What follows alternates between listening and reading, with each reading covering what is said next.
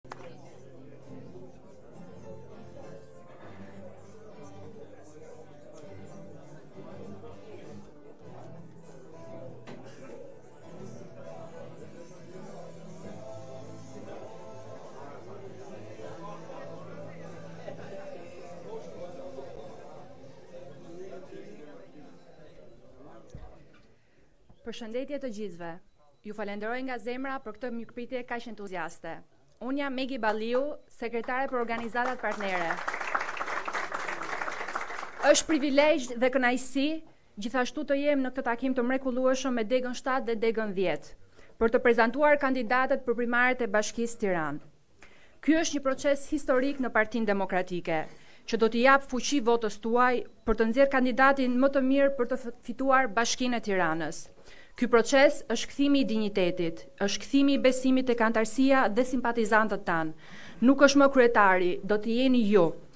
Kjo për Kjo është e vetmja rrugë që kjo parti të ecë drejt fitores, që të jetë vërtet Partia Demokratike ashtu siç ka emrin. Për transparencë po ju bëjmë me dije si më poshtë rregullat e prezantimit, kandidatët do të flasin sipas rendit alfabetik dhe do të kenë nga pesë minuta në dispozicion për prezantimin e programit të tyre. Për shkak të axhendës dhe takimeve të ngjeshura nuk do të ketë pyetje nga salla dhe për këtë gjë kërkojmë mirëkuptimin tuaj. Tani kam kënaqësinë dhe privilegjin të ftoj kandidatët të bëjnë prezantimin e tyre, duke filluar nga zonja e nderuar anëtare e Këshillit Kombëtar, zonja Adriana Kalaja.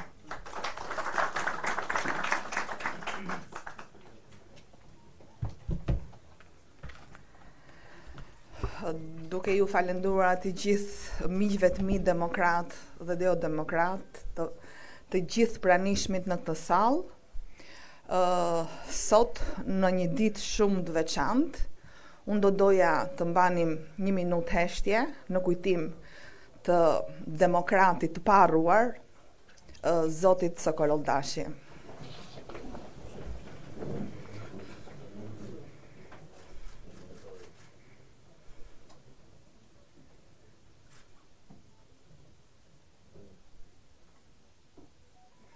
I përjetshëm qoftë kujtimi i tij dhe kontributi i tij i pamatë për Partinë Demokratike. Ë Në radhë të parë në fakt përveç vlerësimit dhe mirënjohjes që kam për secilin prej jush që në këtë kohë të vështirë keni ardhur për të na mbështetur, për të na dëgjuar në lidhje me prezantimin tonë, Unë do shprehja një vlerësim maksimal, së pari për zotin Balliu dhe të gjithë strukturat e Partisë Demokratike, me, me këtë prezantim të jashtëzakonshëm që po bëjmë, me këto primare të jashtëzakonshme që në fakt tregojnë se kjo është partia demokratike që ka nevojë, ka nevojë Tirana, ka nevojë Shqipëria. Unë sot, nisur dhe nga kufizimi që kam lidhur me minutazhin, duke vlerësuar dhe të gjithë miqtë e mi kandidatë, do doja të bëja një një një një prezantim ndryshe. Ë gjatë gjithë këtyre ditëve, në fakt në mënyrë të parreshtur, miqtë e mi, shumicat janë këtu në sallë, të cilët i njoh edhe jashtë Partisë Demokratike, ë Janë të shqetësuar për disa sulme që bëhen në adresë të personit tim. Sulme të ulta, sulme goditje nën brez dhe mbi të gjitha sulme ndaj një gruaje që besoj asnjëri prej demokratëve nuk e ka në karakterin dhe moralin e tij. Unë kur iu bashkova uh, kryetarit sot të Partisë Demokratike zotit Berisha me nëntëmbëdhjetë maj iu bashkova sepse unë besova tek beteja që nisi zoti Berisha për dinjitet dhe unë këtu mendoj se përfaqësoj moralin dhe dinjitetin e gjithë demokratëve për t'i qëndruar përballë së keqes atyre që më pyesin miqve të mi që më pyesin çfarë kanë me ty Adriana Kalaja Unë i përgjigjem sot, me mua nuk kanë asgjë, sepse unë as nuk kam bashkëpunuar kurrë, as nuk kam punuar kurrë me këta që i shërbejnë pushtetit. Ata në fakt e di me kë e kanë. Ata e kanë me Partinë Demokratike, ata e kanë me garën, ata e kanë me primaren, ata i trëmben votës tuaj. Sepse nëse do ishin aq trima, do futeshin në garë, do rreshtoheshin bashkë me ne. Se ata pisa që duan të bëjnë pis këtë garë, nuk më sulmojnë vetëm mua. Ato sulmojnë Belindin, Gertin, uh, Enkeledën, Ilirin, mbase edhe thonë që mbështesim Ilirin, po e bëjnë pis. Tentojnë të paktën ta bëjnë pis. E Julin e tjetrin e tjetrin deri ke Fatmiri. Prandaj them unë nuk kanë asgjë me mua. Unë kam vendosur t'i qëndroj të keqes përballë. Unë kam vendosur të paraqes moralin ndryshe nga antimorali i Erion Velisë. Moralin ndryshe nga morali i rilindjes që po shkatërron këtë vend, që po shpopullon këtë vend, që po shkatërron Tiranën. Dhe Erion Veliaj Nuk mund të quhet as Lali, as kryetar i bashkisë. Ai është vrasësi i Tiranës. Ai është vrasësi i shpresës. Prandaj unë kam zgjedhur të qëndroj përballë së keqes dhe nuk më rrëzojnë edhe nuk më gjunjëzojnë këto sulme të turpshme. Kur filloi foltorja, pak më para se kjo periudhë vjet, në fakt unë përlotesha kur dëgjoja një frazë nga një miku jonë i përbashkët. Përlotem akoma kur e dëgjoj nga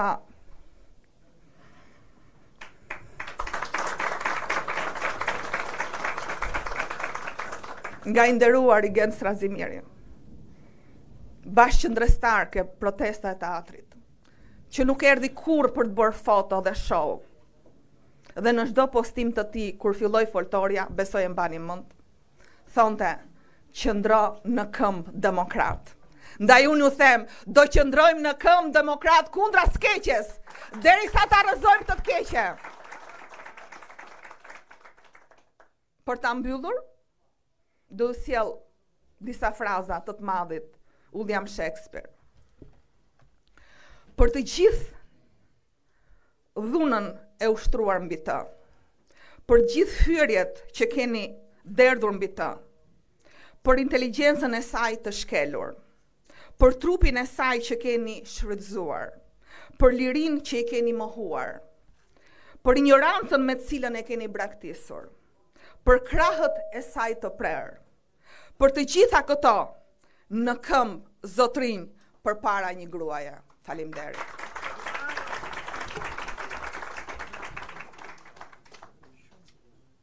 Shumë faleminderit zonja Kalaja. Tani kam kam kënaqësinë t'i jap fjalën deputetit të Partisë Demokratike, zotit Belind Këlliçi.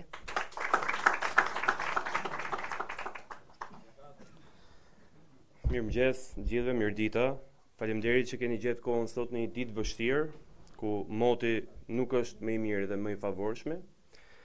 Por që në fakt e keni parë vetë gjatë rrugës që çdo rrugicë, çdo lagje e Tiranës sot dhe zemrës Tiranës, sot jemi në takim me njësinë numër 7 dhe njësinë numër 10, janë të përmbytura, janë të bllokuara dhe duhen çizme të dalësh nëpër lagje. Unë sot e kam një takim të veçantë për shkak edhe se e kam nisur rrugëtimin tim politik kur jam kthyer nga studimet jashtë në vitin 2009 pikërisht në lagjen time, njësi numër 10 në Myslym Shyri, aty ku jam lindur dhe jam rritur. Dhe për mua është emocion i veçantë që 13 vite më pas vij këtu dhe sot jam kandidat për primare për të drejtuar bashkinë e Tiranës. Arsyeja se pse jam kandidat është fare e qartë, për shkak një modeli të tmerrshëm që Tirana ka parë në këto tetë vite përballë. Gjykoj se betonizimi që i është bërë Tiranës në këto tetë vite është i pashembullt për asnjë kryeqytet tjetër europian. Mendoj që sot, pikërisht në zemër Tiranës tu ku jemi në këto dy njësi, është e pamundur që të gjesh një vend parkimi, i qetë. Është shumë lajm i keq që komplekset sportive, fushat sportive si ajo e kompleksit Dajti prishen për t'i hapur rrugë gradaçelave, ndërkohë që një gradaçel një përbindësh tjetër 60 katësh po përgatitet bëhet ke rruga e Kavajës, ke ish Volkswagen-i. Është për të ardhur keq që në Myslym Shyr, në rrugë Kavaje, në Fushë Aviacionit, në rrugë Durrësit, në këto dy njësi, edhe pse je në qendër dhe në zemër të Tiranës, e ke të pamenaxhueshme, ditën normale e ke tmerrësisht të vështirë jetesën gjatë një dite normale dhe e ke stres që kur del nga shpia, që me policinë bashkiake që të ka gjobitur, që me parkimin, që me baltën, që me ajrin e ndotur, që me zhurmën, me trafikun, me kaosin. Erion Veliaj në këto 8 vite e keni parë që Nuk ka mbajtur asnjë premtim publik nga ato që ka dhënë. Kemi të bëjmë me një model i cili në fakt ka arritur të gënjejë Papën. Para një jave keni parë një video që ka qarkulluar ku është takuar në Vatikan me Papën dhe Papës i ka thënë që unë jam kryetari i bashkisë që të kam pritur në Tiranë, kam organizuar vizitën kur ndërkohë Papa ka ardhur 8 apo 9 muaj para se Erion Veliaj të zgjidhej kryetar bashkie. Një njeri që ka kurajo të gënjejë dhe Papën, një njeri që ka dalë para shqiptarëve dhe ka thënë që dasmën time E kam organizuar pesëqind milionë lekë ka kushtuar dhe e kam organizuar me kursimet e mamit, të pensionit të mamit, kam përshtypjen se nuk duhet të jetë më pjesë e politikës dhe jetës publike automatikisht duhet t'i kishte mbyllur llogaritë. Për këtë arsye për shkak se kemi pas këtë model të tmerrshëm përballë, unë gjykoj që sot i duhet një model tërësisht ndryshe dhe një kandidaturë e cila e para ka dhënë prova në përballje me Erion Veliajn dhe e dyta e ka seriozisht betejën, sepse nuk bëhet një betejë vetëm për Tiranën, bëhet një betejë për Shqipërinë. Jam i bindur që zgjedhjet në Bashkinë e Tiranës do të shënojnë në fakt një kapitull të ri për të hapur një faqe të re për të patur zgjedhje të parakohshme. Unë jam i bindur që ju e kuptoni se nëse ne arrijmë të rrëzojmë në 14 maj dhe jam i bindur që bashkë do e rrëzojmë Erion Veliajn, është çështje javësh pastaj që Edi Rama do të rrëzohet. Ndaj besoj fort që kjo është një betejë e fortë politike për shkak të politikave të këqija që i janë vënë në kurriz qytetarëve të Tiranës në këto tetë vjet. Unë ju jap një premtim që të gjitha aferat që kam denoncuar do të vijoj t'i denoncoj, por nëse do të më jepni besimin dhe votën për të qenë kryetar bashkie në 14 maj, Patjetër që si kryetar bashkie do të shkoj në SPAK dhe shkresa e parë që do të depozitoj dhe kallëzimi i parë që do të depozitoj është kjo shkresë me firmën e Erion Veliajt, me vulën e Bashkisë Tiranë që i ka kushtuar qytetarëve të Tiranës 430 milionë euro. Është inceneratori i Tiranës, për të cilën unë nuk do të rresht së foluri. Kam qenë në një komision hetimor, e kam patur Veliajn në komision hetimor për inceneratorët. vijon t'i shmanget drejtësisë, nuk thirret në SPAK dhe besoj se ka ardhur koha që paligjshmëria dhe pandëshkueshmëria duhet marrë fund. Ju e dini që nëse hap një dritare apo ndron thjesht pllakat e shtëpisë të vjen troket ke dera policia bashkiake, kur ndërkohë para zyrës së Erion Veliajt në Bashkinë e Tiranës ndërtohet një gradaçelë me shtatë kate pa leje dhe Erion Veliaj nuk dika gjë. Po a ka qytetar, a ka njeri normal që mund ta ha këtë logjikë, a ka njeri që mund ta besojë këtë mashtrim? Ky model i gënjeshtërt, i mbrapshtë, i një të riu politik për fat të keq, gjykoj që duhet të marrë fund.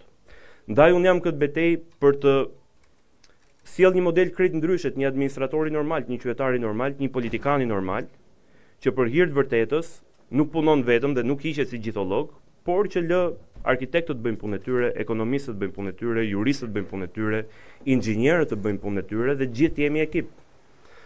Unë gjykoj që sot Tirana duhet të jetë një qytet proporcional, ku ka vend edhe për këmbësorët, ka vend edhe për parkim, ku ka vend dhe për korsitë e biçikletave, ku ka vend dhe për zhvillim të një Tirane policentrike, ku Tirana në fakt nuk duhet zhvillohet vetëm në qendër, për shkak se çmimi i truallit është më i më i lartë dhe për shkak se babëzia e mafias betonit është shumë herë më e madhe dhe makutëria është më e madhe, por duhet zhvillohet edhe në periferi. Tirana ka nevojë të marrë frymë në të katra anët e saj. Kush më shumë se ju vuan dendësinë e ndërtimit në Tiranë dhe të betonit. Mos harroni që rrjeti i kanalizimeve i ujërat bardh i ujërave të bardha dhe të zeza është i planifikuar për një iks numër personash, ndërkohë që çdo muaj në Tiranë jepen njëqind leje ndërtimi dhe ndërkohë çdo vit ju shihni gradaçela që ngrihen mbi këtë rrjet ekzistues. Tashi mua më vjen keq e shoh këtë lëvizje, unë duhet ta mbyll. Është e vërtetë që ne kemi kohën e limituar, do doja të kishim mundësi që të flisim shumë më gjatë, por për shkak një agjende shumë ngjeshur që ne duhet të shkojmë edhe në takime të tjera, e kemi të limituar kohën në vetëm 5 minuta. Është për mua e them edhe një herë emocion i veçantë që jam sot para jush dhe rikthehem 13 vite më pas në këtë takim në një stat krejt tjetër. Në 2009-ën isha me pantallona të shkurtra duke ngjit postera për Partinë Demokratike, sot rikthehem si kandidat për kryetar bashkie. Do doja mbështetjen tuaj në këtë garë dhe ju jap një premtim që nëse sigurisht fitoj garën, Do t'i shtrij dorën çdo kandidati, çdo kolegu që kemi qenë në këtë garë, sepse ne duhet të jemi ekip dhe ekip do të jemi në katërmbëdhjetë maj, për të qenë me mua. Nëse nuk e marr votëbesimin e demokratëve, do të jem krah kujtdo që fiton për t'u përballur me Erion Veliajn në katërmbëdhjetë maj. Beteja me Veliajn, beteja me të keqen, beteja me eksperimentin më të keq të Rilindjes në këto tetë vite, është beteja e çdo qytetari, e çdo demokrati sot. Ju falënderoj me zemër. Faleminderit.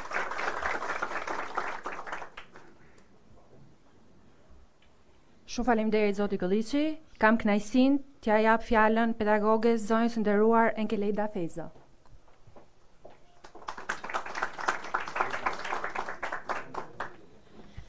Përshëndetje. Ju falenderoj shumë për këtë kohë të zymtë. Edhe kur të dalim jashtë do ta shikojmë se çfarë po ndodh. Bëni mirë që të përdorni të gjithë teknologjinë tuaj për t'ia treguar Sepse kjo është arma jonë më e fortë që na ka ngelur. Unë jam Enkelejda Fejzo edhe jam nga Memaliaj, i kam 24 vite në Partinë Demokratike. Ndodhem sot falë një procesi që është shumë i rëndësishëm dhe duhet të ndihemi të gjithë krenarë. Në, ashtu si tha dhe Adriana, po ndodh këto ditë që akuzojnë Partinë Demokratike që nuk ka garë. Unë ju jap besën dhe fjalën sot që unë jam në garë. Të gjithë ne jemi në garë. Na besoni për këtë gjë sepse nuk kemi të komanduar. Në gjithë këtë lodhje të madhe që kemi më shumë se dhjetë vjet, ne nuk kemi servilur askujt, po me dinjitetin tonë kemi mbajtur atë që quhet fisnikëri. Nuk kemi sharë dhe nuk kemi fyer. Që do protestojmë, do protestojmë se është puna jonë. A mendoni ju se të gënjesh një fëmijë, t'i tregosh në kopshtin zoologjik, ja tek është një dinosaur plastik, dhe ky është dinosauri se them unë? A mendoni ju që duhet të nxirrni një kafshë me tre dhëmbë, sepse aty aferat kanë shkuar atje ku nuk ka më vend? Ky është një turp, të gënjesh një fëmijë. Duke filluar që nga fëmijëria e tij dhe të fillon dhe të gënjesh. Pra këtu nxirret virtyti i gënjeshtrës. Nuk e kemi bërë ne. A mendoni se sot më shumë se kurrë nuk ka fëmijë të abuzuar, të përdhunuar në gjithë këto vite, po është një turp edhe për ne, edhe për atë që po e mban. Me këtë turpin e tij ai vazhdon akoma duke gënjyer të gjithë të rinjtë dhe duke shtuar ato reklamat e tij nëpër konvikte dhe i thotë ja tek i keni, kemi ujë, kemi drita, kemi shkallë, kemi pastërti, asgjë nuk është bërë. Të rinjtë bredhin nga një valixhe te tjetra duke kërkuar shtëpi me qira.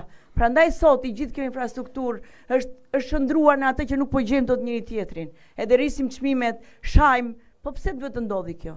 Studenti duhet të ketë shtëpinë e vit e vet atje ku duhet të mësojë dhe të studiojë. Mos të sorollatim. Dhe pastaj duke bërë gjithë këtë gjë, duke parë të gjithë se çfarë po ndodh, çfarë bëjnë? Gjejnë rrugën më të shkurtër, marrin para borxh, qajnë para prindërve të tyre dhe i thotë mirupafshim, do ta provoj. Po iki dhe gjithë këto vite. 30 vjet kemi në tranzicion. Po pse mos të marrim të tjetrën? Mbas 9 viteve që këta po qeverisin, a ka më, domethënë. Kjo është një çështje e konsumuar. Ne e dimë shumë mirë çfarë është konsumimi. Këtu vetëm vetëm kaq mjafton për të kuptuar që ne duhet të ndodhi një rotacion. Të gjithë ato gjëra që përmendën sot, të gjithë kandidatët dhe ne dhe ne të gjithë i dimë shumë mirë, është çështja që mendohet këtu se këtu është përmirësuar, përkundrazi. Nguliteni mirë në këmbë këtu është përvetësuar, nuk ka asnjë gjë të popullit, nuk ka asnjë gjë të qytetarit. Ka bërë aq shumë kulla që ti nuk e ngre dot më kokën lart, sepse të merren mendtë. Ka bërë aq shumë trotuar të shpifur sa duhet të kesh kokën poshtë. Pra as lart, as poshtë ngelëm duke vetëm na çuar nëpër shëndetësira, sepse jemi të smurë, domethënë, nga ky nga ky mjedis kaq i ndotur dhe në një mjedis që nuk e kuptojmë që vazhdojmë akoma dhe themi o Zot, çfarë po ndodh?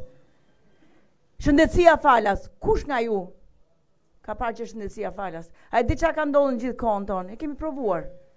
Edhe justifikohen me krizat që i kanë ndodhur në gjithë botën. Dhe vazhdon akoma të mendojë kjo qeverisje që ne jemi shumë mirë, mirë e më mirë, më mirë dhe po ia kalojmë gjithë botës. Po këto janë gënjeshtra. A ka këtu më vënd për të qëndruar? Demokratë, unë mendoj se i ka ardhur koha ashtu siç e thashë edhe gjatë gjithë ditës tonë, që kemi qenë bashkë të gjithë. Fatmirësisht, fatmirësisht në gjithë këtë përzgjedhje që na ka bërë kjo koha, unë jam shumë e lumtur, sepse ne jemi të gjithë të ndryshëm nga njëri tjetri. Po të ishim do ishim të gjithë unifikus, Edhe shikoni, secili nga ne, secili nga ne ka mendimet e veta. Kjo do të thotë që i programi jonë do të bashkohet në një moment për të mos i lënë më hapsirë gënjeshtrave ça po ndodh. Bashkia është e qytetarëve, ne nuk kemi fyer asnjë socialist. Ne përkundrazi luftojmë këtë regjim dhe sistem që duhet të marri fund, duhet, sepse nuk ka më. Ka aq shumë gjëra që janë thënë, e stërthënë dhe vazhdojnë akoma. Sot, nesër është vonë. Atdheu është në rrezik, mbajeni mend. Shqipëria në rrezik, mbajeni mend. Rinia në rrezik. Familja në rrezik, të rinjtë në rrezik, arsimi në rrezik. A ka më vend për këtë gjë? Sot, më shumë se kurrë duhet jemi të bashkuar, mbajeni mend këtë gjë, Sepse ata presin që të sulmojnë të gjithë procesin, po ky është një proces që ai pati frikë për ta bërë për herë të parë. Dhe ne demokratët sot me me votën tuaj nëpërmjet anëtarësisë u ka ardhur një shans për të treguar që ne do zgjedhim më të mirin nga më të mirët për të shkuar në 14 maj me dinjitet. Ju përgëzoj, ju falenderoj dhe jam dhe një këshillë dua ta jap, faleminderit shumë. Që nga data 22 Ju lutem shumë të gjithë strukturave të Partisë Demokratike, degët, duhet të thërrasin të gjithë kandidatët. Duhet të jemi më shumë se kurrë në kontakt me njëri tjetrin për të na treguar problemet, për të diskriminuar të gjitha ato gjërat që fshihen në rrugët dytësore. Ne kemi nevojë për të shfaqur problemet tona. Cilido nga ne që takoni, cilido që keni numër kontakte, Nuk duhet të reagoni ndaj njëri tjetrit jam punë jam kështu. Sot është emergjente. Ju lutem, ne kemi nevojë për të na treguar, nuk punojmë dot vetëm. Ne jemi këtu për të shfaqur, cilido që është, majtas apo djathtas. Prandaj, ju ftoj të gjithë së bashku sepse 4 dhjetori nëse do të jetë dita e fundit do të jetë shumë shpejt, po fitorja është e 14 majit. Faleminderit.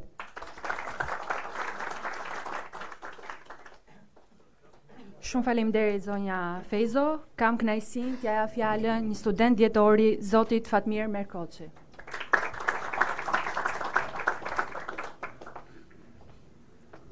Mirëdita të gjithëve. Atëherë, duke qenë se primaret janë risi për Partinë Demokratike dhe është një opsion i të djathtës konservatore, unë do t'i qëndroj asaj çfarë kërkon ë kjo gjë. Çka do të thotë? Që unë nuk të para jush nuk dal për të shpalos programe, po dal për të kërkuar votën mbi bazën e kontributeve dhe të vlerave. Në çdo takim jam nisur vetëm nga kjo. Çka do të thotë? Kontributet e mia kanë nis në dy korrik dhe kanë vazhduar Me tetë dhjetorin, kur një grup fare i vogël njerëzish ku nuk dishim se si do përfundoshim, arritëm që të krijojmë dhe t'i hapim rrugën Shqipërisë për një Shqipëri demokratike. Dhe u bë, u bë ajo që ne e kishim ëndërr themelimin e Partisë Demokratike.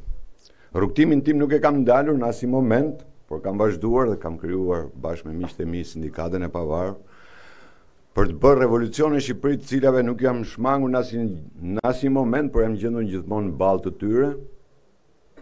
Dhe në njëzet shkurt të nëntëdhjetë e njëshit rrëzuam simbolin, rrëzuam diktaturën, hoqëm frikën, vramë frikën, arritëm ta bëjmë. Arritëm ta bëjmë, por dhe pse kemi pas kryetar të djathtë, Emra komunistësh në rrugë gjeni sa doni. Emra terroristësh gjeni sa doni. Vetëm 20 shkurti që është revolucioni më i madh që ka bërë populli i Tiranës nuk përmendet në asnjë vend dhe nuk e keni në asnjë vend. Nuk ka asnjë simbol. Nuk ka asnjë shesh. Nuk ka asnjë rrugë. Kjo është ajo që politika e ka nderuar Tiranën. Këtu e ka nderuar Tiranën. Kemi pas, thash, kryetar bashkish tonët. Kemi pas këshillat bashkiake tonat. Dhe rrugtimin tim e kam nisur dhe kam vazhduar përsëri, megjithse në mars fitoi Partia e Punës, jemi ngritur përsëri bashkë, dhe hodhëm qeverinë e funit komuniste, qeverinë Nano. Kam vazhduar gjithë përpjekjet e mia, me shkrimet e mia, me, me daljet publike. Në asnjë moment nuk jam shkëputur. Kurrë nuk kërkova post. Dhe pse mund ta meritoja më tepër se gjithkush. Por kam menduar te ideali, sepse s'kam dashur kurrë të shkel mbi varret e parëve të mi. Çdo opsion dhe çdo alternativë kam hedhur jo për veten time personale, as për i grupim njerëzish, por për të gjithë ju. E kam kundërshtuar dhe nuk kam nevojë të, të flas para jush për Erion Velinë apo për adelavjersin Rama. Pse? Sepse kam thënë, këtu është instaluar mafia shtet dhe unë këtu e kam mbyllur me ju. Se të gjithë ju e dini, e shifni, jam përballur dhe me ndërkombtarët. edhe me ambasadorët, edhe me amerikanin. Jam përballur në, në 96 me, me ambasadorin amerikanin, se më thoshte pse kërkon të hapen dosjet. Nuk kam pas frikë. Jam përballur dhe për drejtsinë. Mes 300 vetave, në seminar, me ambasadorin Lu, tet a tet, nuk e kam frikë. Nuk e kam frikë se e di që mbroj interesat e popullit tim dhe të kombit tim. Dhe ju kam deklaruar që kjo është reformë e dështuar ashtu siç dështoi. Dhe gjithkush e prek nga ju. Se nëse do shkosh në një gjyq do 20 vjet ta mbarosh. Se të del ai tjetri dhe të merr pronën. Kam luftuar pikërisht vetëm për këtë. Por asnjë nga ju s'më ka pa në një post publik apo shtetëror, apo partiak. Kam bërë atë që kam bërë dhe kam hikur. Nuk kam pritur të marr privilegje. Në këtë kandidim jam thjesht vetëm për një arsye. Dega nëntë më vlerësoi në kontributin tim dhe më propozoi. Unë e respektova dhe u futa në këtë garë. U futa në primaren, thashë, është koncept konservator. Koncepti konservator ka që voton vlerën dhe votën. Unë para jush jam paraqitur ato që unë kam bërë. Për ato që unë nuk ju kam gënjyer. Ato që kam ngritur kauza E kam, e kam goditur Erion Velinë, se i kam nxjerrë letrën, para tre vjet e gjysmë. Të tjerët heshtën. Kam goditur reformën në drejtësi, të tjerët heshtën. Sot dalin edhe thonë, dështoi. Vezë Kolombi e kam quajtur. Por, vjen një moment që unë kërkoj, ça kërkoj, kërkoj votën te ju. Kërkoj votën, për mos ju zhgënjyer, unë dua të vazhdoj ta luftoj komunizmin, ta luftoj diktaturën, se sot jemi në diktaturën e urisë. Dhe unë këtë kërkoj, që njerëzit mos ikin nga shpia. Kam tre javë që dal e protestoj për minimumin jetik. Pse ça jam unë? Për ju e kërkoj më, nuk e kërkoj për vete. Që t'ju sigurojë qeveria, t'ju sigurojë jetën. Unë ju premtoj vetëm një gjë. Më jepni votën të, të gjithë bashkë. Unë krye, të heqim Erion Velinë nga ai post që është. Dhe pas atij, unë kam qëllimin të rrëzoj Edi Ramën. Faleminderit. Shumë faleminderit zoti Merkoçi. Kam kënaqësinë t'ia jap fjalën ish-deputetit të Partisë Demokratike, zotit Gerti Bogdani.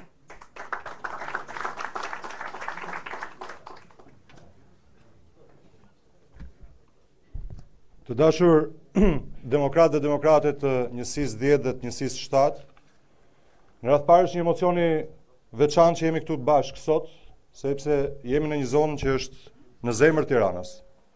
Një zonë që bashkëjeton shumë mirë me njëra-tjetrën, sepse është e ndërthurur me njëra-tjetrën. Por është kënaqësi e veçantë, sepse në njësinë dhjetë unë kam Nisur dy sfida të rëndësishme të jetës time.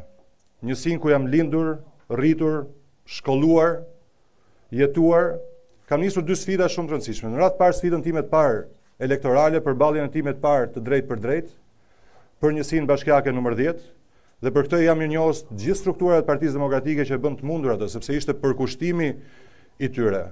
Ishte puna e palodhshme e tyre që e çuam në barazim raundin e parë Dhe pastaj në një fitore raundin e dytë dhe raundin e dytë nuk nuk ishte më vetëm struktura e dhjetës, po ndihmoi struktura e shtatës, numëroi struktura e Laprakës, struktura e Kombinatit e kështu me radhë. Në një sfidë, në një njësi që për herë të parë thyhej nga Partia Demokratike.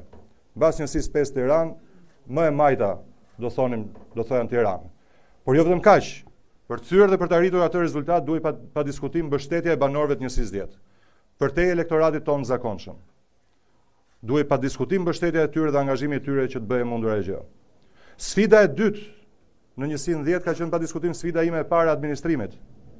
Duhet të administronim një njësi bashkiake me 33.000 banorë, ndërkohë që Edi Rama ishte kryetar i bashkisë dhe Do themi aksesi ishte zero, mbështetja ishte zero.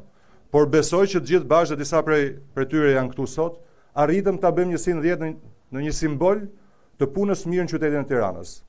Standarde dhe gjëra që kemi bërë që në atë kohë, 15 vjet përpara kam përshtypjen i bie, janë sot standarde në qytetin e Tiranës. Nëse dini nëpër rrugë përpara ose nëse kujtoheni kush i mban mend tabelat e rrugëve kanë qenë cepa pallatesh. Mezi i gjeje, duhet ta kërkoje ku i kishte emrin rruga. Sot i keni në këndet e rrugëve. Për një që viziton Tiranën, për për ata që banojnë në Tiranë dhe nuk i njofin gjithë zonat e Tiranës, është shumë e thjeshtë të gjesh se ke cila rrugë je. Atë e bëmë në njësinë bashkiake 10 së bashku. Ka zona në njësinë, ka pas zona në njësinë 10 që kishte një farë lulishte, po s'kishte ku të moshuarit t'uleshin ose të rrinin. I bëmë me stola sepse në këto zona fëmija duhet të kalojnë fëmijërinë, të moshuarit duhet të kalojnë pleqërinë, s'mund t'i lesh të rrinë në këmbë.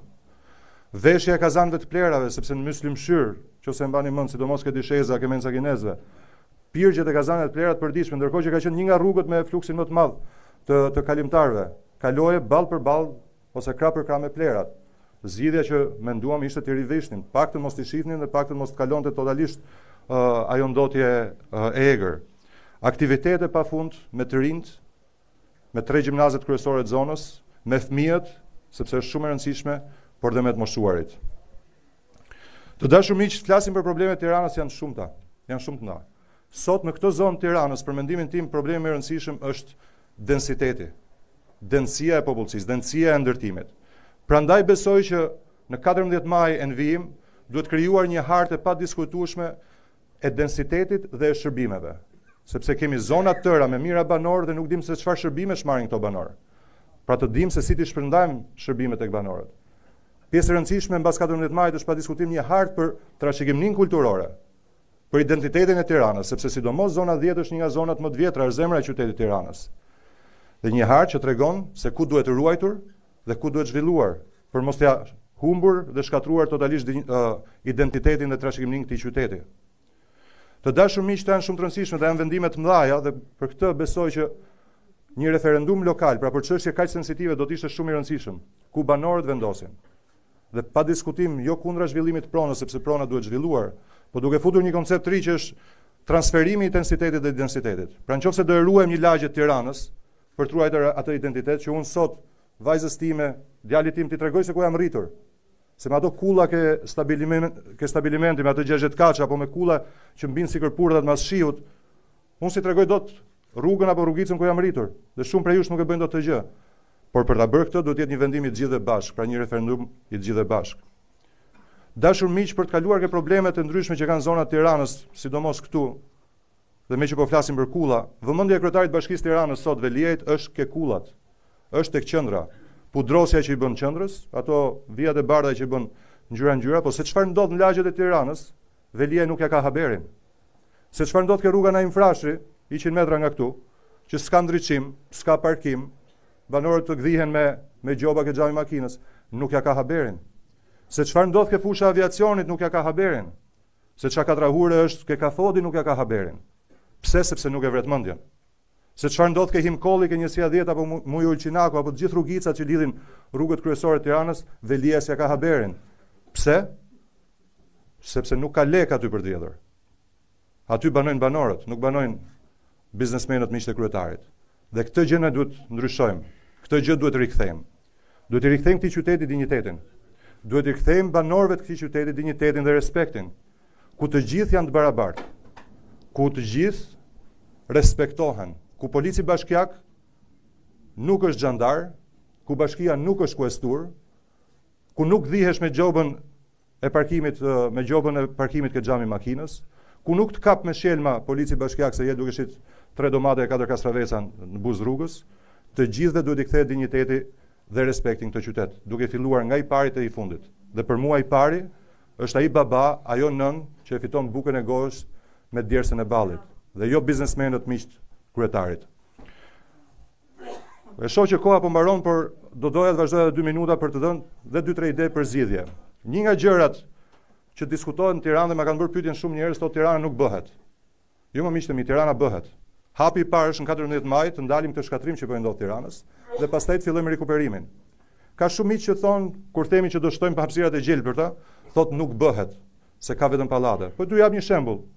Njësia 7, fusha aviacionit. Sot është e betonizuar.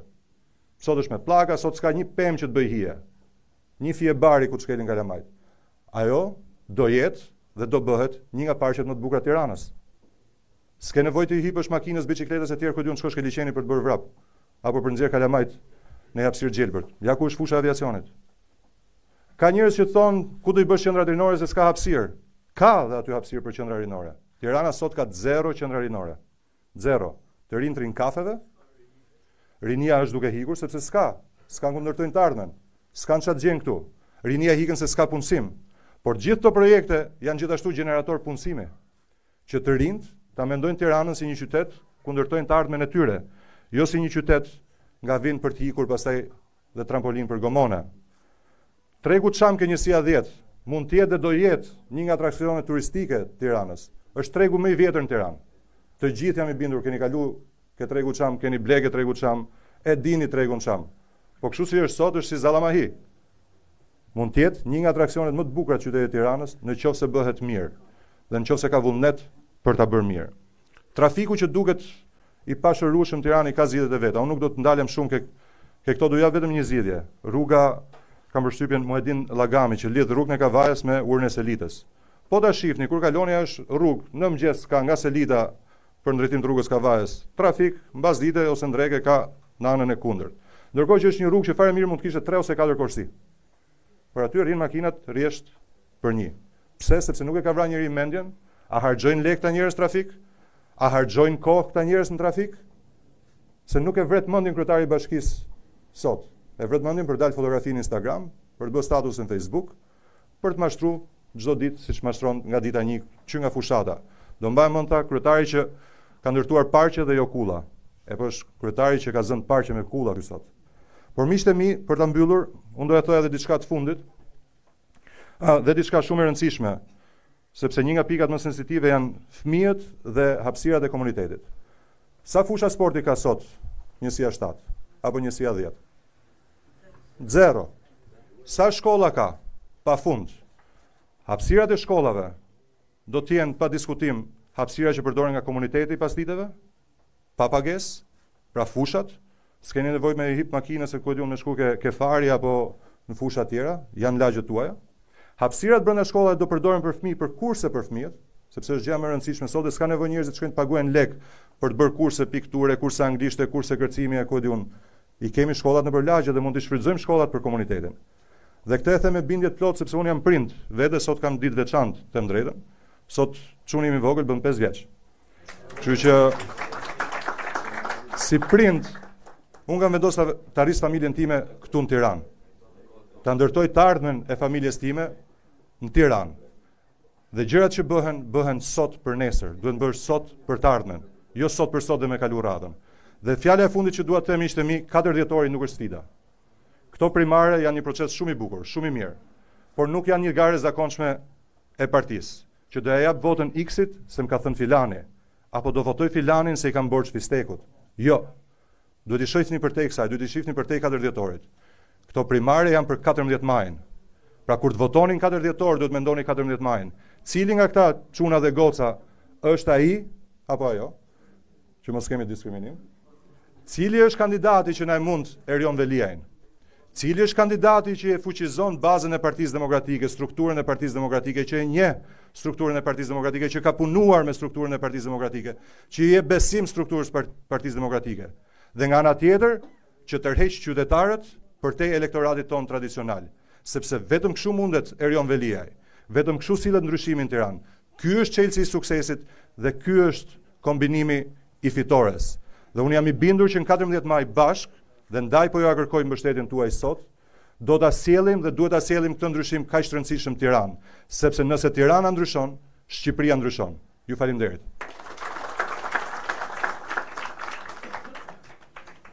Shumë faleminderit zoti Bogdani, kam kënaqësinë t'ia jap fjalën një mjeku të nderuar, zotit Ilir Alimehmeti.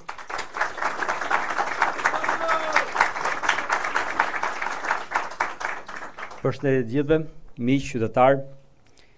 Unë jam doktor Ilir Alimehmeti, jam një njeri i punës së ndershme, jo shumë i fjalëve, kështu që do qëndroj brenda afateve.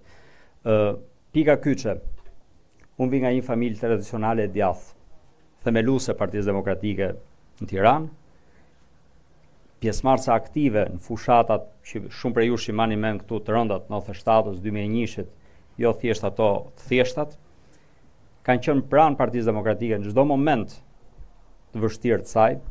Po ata kanë qenë edhe profesorë të mjekësisë përpara se të ishin dhe të jepnin këtë dorë, kështu që është krejtësisht një rrjet familjare e unë afrohem sërish në moment të vështirë Toni, sepse është kollaj momentet e, e lehta të afrohesh.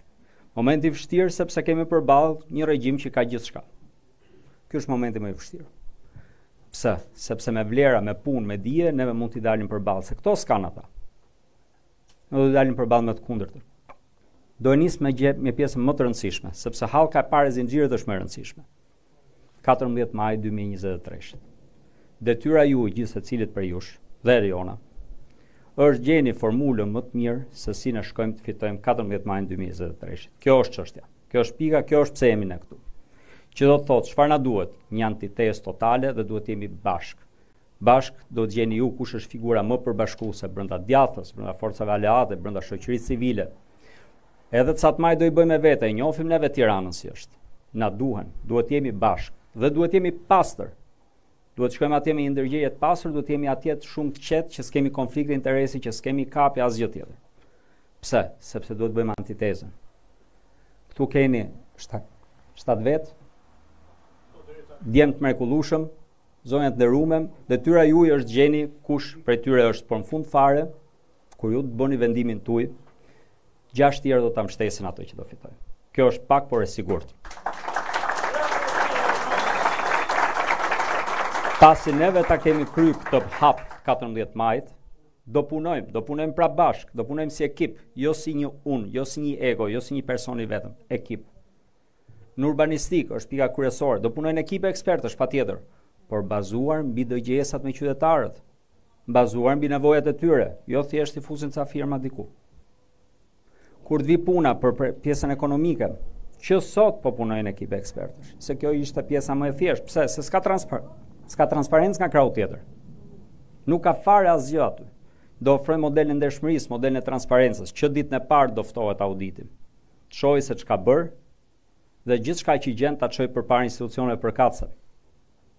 Disa prej tarifave ju i paguni shumë të shtrenjta, e dini këtë besoj. Keni një tarifë për infrastrukturë shkollore që s'ekziston në asnjë bashki tjetër. Kjo do hiqet. Është thjesht një abuzim. Keni tarifë tjetër për ndërtesat. Janë të dyfishuara. Çdo një që çon në gjyq e fiton gjyqin. Nuk e di a e dinit këtë. E mbajnë të fshehtë, se s'ka transparencë. Do bëhet transparencë e plotë edhe këtu. Parkimet mund të lehtësohen, mund të reduktohet orari. Madje madje ka një grup që po punon dhe mbi një hipotezën e heqjes fare tarifës së parkimit mbitokësor. Sepse edhe kjo është e mundshme ndoshta. Kështu duhet të jemi shumë konkretë. E këtu neve shkojmë vetëm bashkë, shkojmë vetëm pastër. E në fund fare, me të drejtë zonja Kalaja, na bëri t'kujtojmë Zotin Oldashin, pak më parë, por ne nuk do të nderojmë vetëm kujtesën e tij, do të nderojmë edhe kujtesën e idealeve të tij, parimeve të tij, dhe do të rigjallëroj një mendim, që është ai inventari i kontributeve, kush prej jush e mban mend këtë. Që është mekanizëm ekuilibri ndërmjet përgjegjësive dhe avancimit në karrierë të çdo anëtari të partisë dhe çdo qytetari. Sepse vetëm ne kështu shkojmë bashkë dhe pastër dhe fitojmë 14 majin 2023. Faleminderit.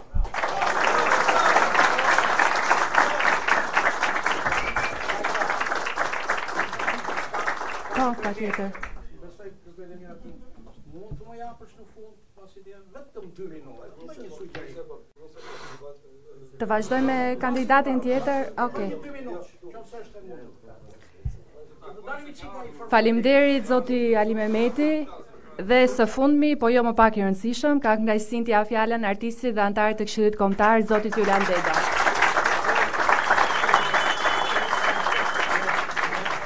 Falimderit, urdhëro. Se po ngatërroj fjalët dhe pastaj Mirëmëngjes, mirëdita Ju falënderoj shumë për mikpritjen Që ta dini ju dega 7 është dega më mikpritëse e Tiranës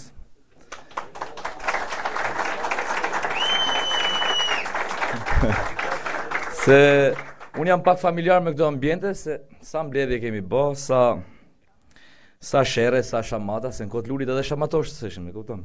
S'kishim ça të bëshim. Ishim shumë të stresum. Ma di, maj, maj, mbaj mend herën e parë që kam ardhë në këto ambjente, në, në mbledhjen e parë, para shumë vitesh, pata një fërkim, të vogël.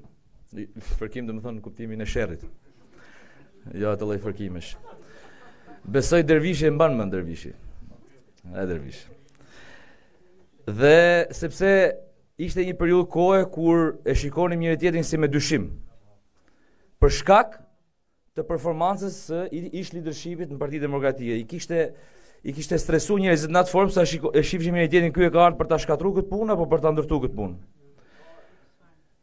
Kjo është e vërtetë dhe por sot gjërat kanë ndryshuar. Kanë ndryshu, sot Dervishi për shembull le kokën mas meje, apo jo Dervish? Dhe jam shumë i lumtur që sot gjërat kanë ndryshu, sepse disa pika janë vënë mbi i. Unë i di shumë mirë kontributet e antarëve të degët 7, besnikrin e antarëve të degës 7, degën 10 e njof shumë më pak, me gjithë respektin, po unë këtu kam punu për shumë kohë. Dhe Kam dëshirë se si, siç më njihen, siç dua që të më njihen mua kontributet, dua që t'ju njihen edhe ju kontributet, dhe unë do bëj gjithçka që secilit nga ju kontribut plus besnikëri t'ju njihet çdo gjë, sepse është shumë e rëndësishme, jeni, jeni një pjesë qëndrestare e Partisë Demokratike që duhet vlerësu. Tashi, Edhe Tan Pogoni le kokën mbas meje. E di, e di që është kushëri i Ilirit, po le kokën mbas meje. Ë, uh, jam shumë familjar te ky ambient dhe prandaj po e trajtoj pak ndryshe këtë, s'ka nevojë për prezantime të gjata. Besoj që gjithë neve i dimë problemet e lagjes tonë. La, gjitha lagjeve të Tiranës, po sidomos këtu njësinë shtatë kemi mijëra probleme.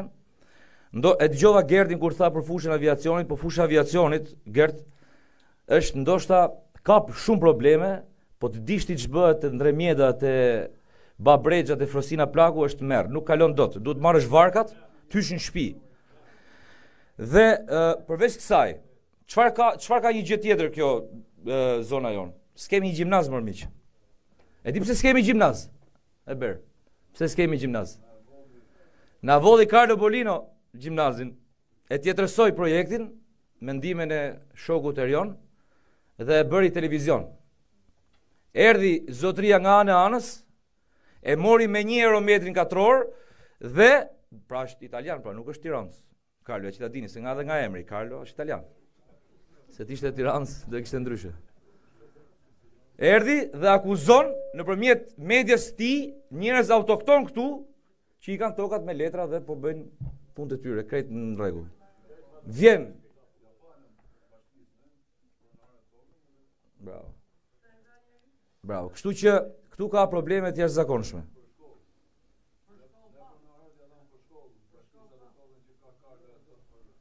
Po. U nis për shkollë e tjetërsoi dhe sot ai person, përveçse kaq, kërkon të hedhë baltë dhe mbi primaret, sepse ai e ndien që primaret janë ngjarja më e bukur që i ka ndodhur politikës shqiptare në 30 vjet. Këto primare. Absolutisht jemi shtatë veta që kemi hyrë në historinë e Partisë Demokratike dhe të politikës shqiptare duke marrë pjesë në këto primare. Dhe unë unë jam shumë i lumtur që jam sot këtu bashkë me Tashi Se çfarë do bëjmë për Tiranën e diskutojmë edhe mbas 14 majit, ajo është kryesorja. Unë do flas 3 minuta, jo 5, se 2 do t'ia lë zotërisë atje. Pra, Klevis, do hyjë në kohën time zotëria, do flas në vend tim.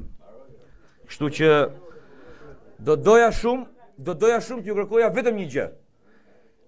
për ta zgjedhur kandidatin Fatmir, një sekond Fatmir, se na akuzove edhe ti Fatmir na akuzove, the kur kam folur s'ka fol njëri. A kena fol ne për Erionin?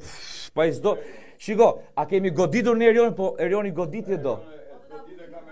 Po po, po po, do mbaj përgjegjësi deri në fund, po patjetër, patjetër. Do mbaj përgjegjësi deri në fund, ajo gjëja e parë që duhet bërë. I duhen hap letrat, të shkoj atje ku e ka vëndin, po të shkretin do ta rregullojmë. Vetëm të mbarojmë këto tonat njëherë. Se kemi gjëra tona për të mbyllur këtu. Kemi kemi primaret dhe do t'ju lutesha shumë. Për të zgjedhur njërin nga ne, se që do fitojmë në 14 maj as diskutohet kjo punë ka kryer si muhabet, do fitoj as do as nuk diskutohet. Vetëm Po po ngri ngri ngrijeni kokën, ngrijeni duart, ngrijeni gishtat, do fitojmë ka kryer si muhabet. Po. Problemi është se cili nga ne do jetë atje. Por në fakt nuk është ky problemi, se ne do jemi të shtatë prap atje. Unë të paktën do jem bashkë me atë që do jetë fitusi. Dhe unë të paktën të gjashtë do t'i kem krah të djathtë. Unë këtë do kërkoj. Por, që të zgjidhni njëri nga ne, mos dëgjoni as analist,